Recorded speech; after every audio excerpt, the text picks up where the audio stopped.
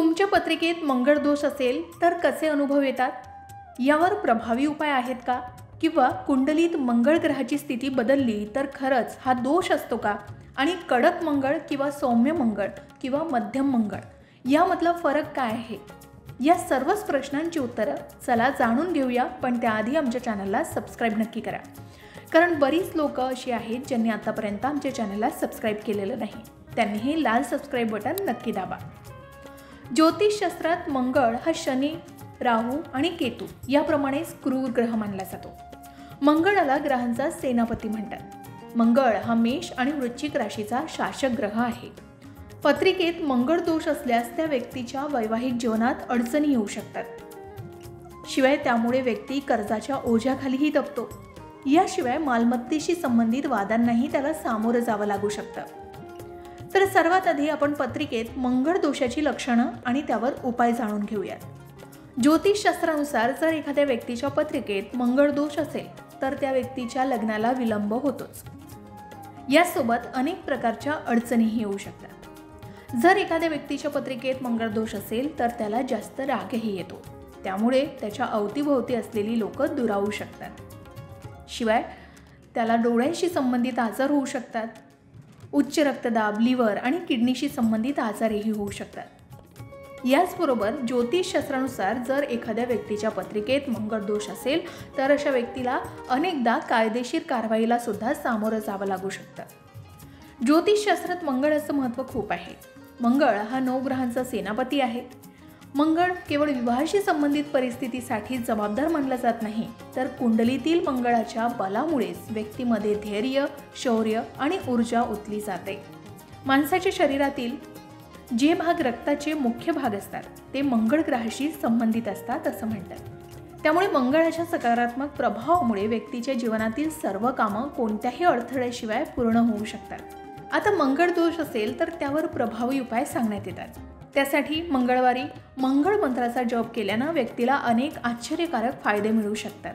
अशा परिस्थितीत आपण मंगळ मंत्र मंगळाचा प्रार्थना मंत्र मंगळ गायत्री मंत्र मंगळ नावाचा मंत्र किंवा मंगळाचा तांत्रिक मंत्र अशा प्रकारचे मंत्र म्हटले जाऊ शकतात.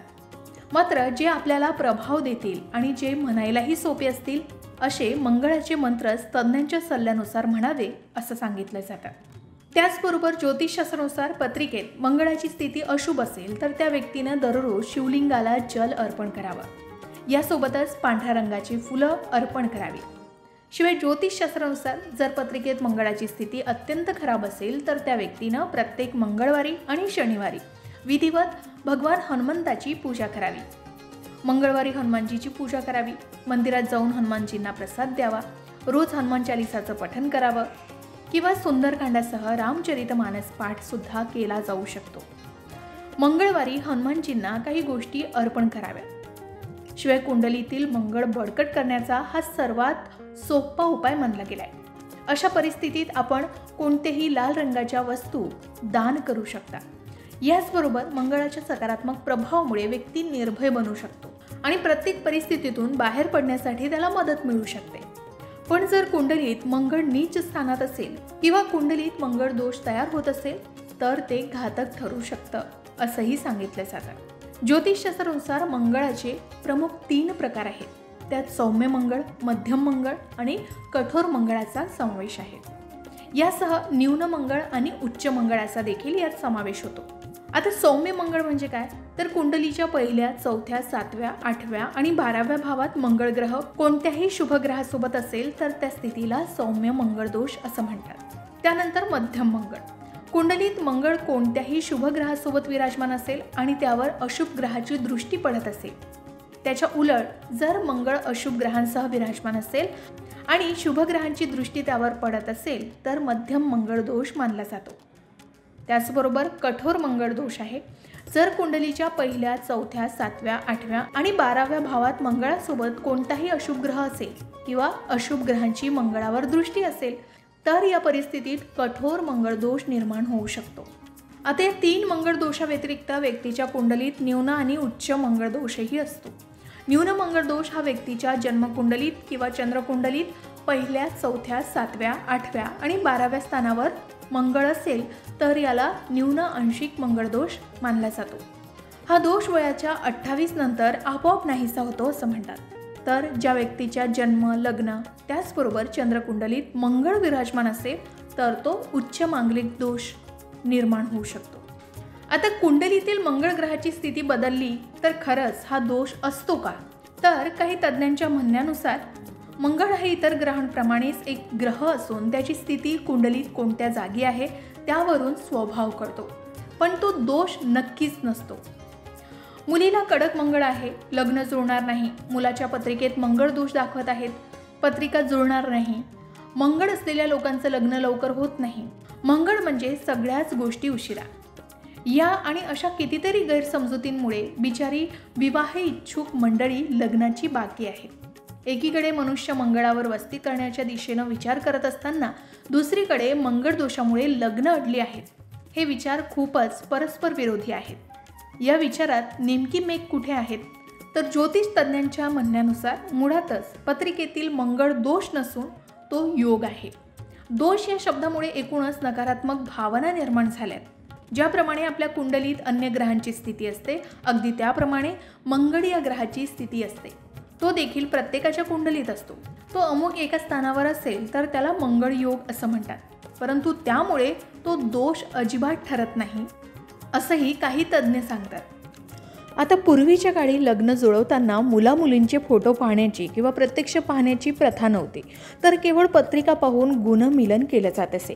त्यांच्याबद्दल त्यांच्या घराण्याबद्दल माहिती मिळाली की मुलामुलीचा स्वभाव व्यक्तिमत्व वागणं बोलणं उंची रूप रंग कर्तृत्व यांचे अनुमान कुंडलीतील ग्रहांवरून ठरवले जात असत. ज्यांचा ज्योतिषशास्त्राचा अभ्यास अचूक असे असे ज्योतिषी कुंडलीवरून अचूक भाष्य करत असत. अशा कुंडलीतील मंगळ योग व्यक्तीचा स्वभाव दर्शवतो. उच्चीचा मंगळ असणारी व्यक्ती अथक मेहनत घेणारी जिद्दी स्वाभिमानी आणि शीघ्रकोपी म्हणजेच पटकन रागवणारी संतप्त डोक्याची मानली जाते. अशा व्यक्तीचा विवाह जर सौम्य मंगळ योग्य असणाऱ्या व्यक्तीशी जुळून दिला तर संसार तग धरून राहील. अन्यथा दोघेही मंगळ योगाचे असतील तर कोणीच माघार घेणार नाही आणि घराची युद्धभूमी होईल आणि संसारात काडीमोड घ्यावा लागेल. ही दूरदृष्टी मंगळ योगावरून ठरवली जात असे. मात्र अशी कुंडली जुळवताना समोरच्या पक्षाची ग्रहस्थिती लवकर जुळून न आल्यानं मंगळ योगाला मंगळ दोष संबोधलं जाऊ लागलं. परंतु आजच्या काळात प्रेमविवाहाला मुलांची सर्वाधिक पसंती असल्यामुळे ज्योतिषी सांगतात. प्रेमविवाह करणार असाल तर पत्रिका बघू नका कारण तुम्ही परस्परांना गुणदोषासकट स्वीकारलंय. हे मनोमिलन गुणमिलना इतकंच महत्त्वाचं आहे. अशा विवाहात प्रेम सामंजस्य आत्मीयता असेल तर कोणतीही ग्रहस्थिती आपोआप संसाराला अनुकूल होत जाते. त्याचबरोबर पत्रिका पाहून लग्न करायचं झाल्यास मंगळ योगाला अनुकूल पत्रिका पाहून लग्न केलं आणि त्याही पलीकडे एकमेकांना गुणदोषासकट स्वीकारण्याची तयारी दाखवली. तर मंगळ ग्रह देखील मंगळ ठरायला वेळ लागणार नाही असंही सांगितलं जातं. तर मंगळ दोषाबद्दल तुमचे विचार काय आहेत? कमेंट करून नक्की सांगा. अशाच प्रकारच्या माहितीपूर्ण व्हिडिओसाठी लोकमत भक्ती चॅनलला नक्की सबस्क्राईब करा आणि बेल आयकॉनला क्लिक करा म्हणजे आमच्या नवनवीन व्हिडिओचं नोटिफिकेशन तुम्हाला मिळत राहील. तसेच योग्य आध्यात्मिक मार्गदर्शनासाठी लोकमत भक्तीच्या फेसबुक पेज आणि इन्स्टा पेजला लाईक आणि फॉलो करायला विसरू नका.